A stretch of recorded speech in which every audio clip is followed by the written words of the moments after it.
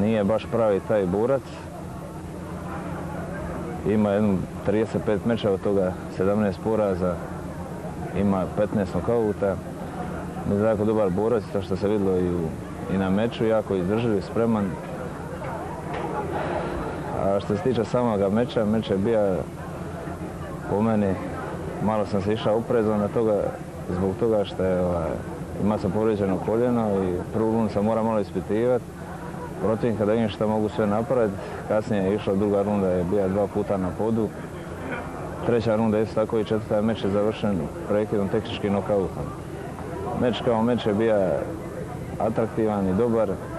Do sada sam manje radio nogama, nisam mogao zbog povrede, čak je bilo upitno hoću li nastupiti uopće u Puli.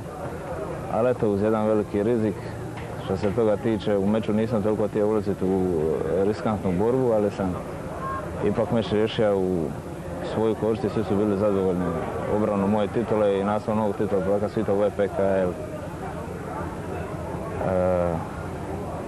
Planovi za dalje su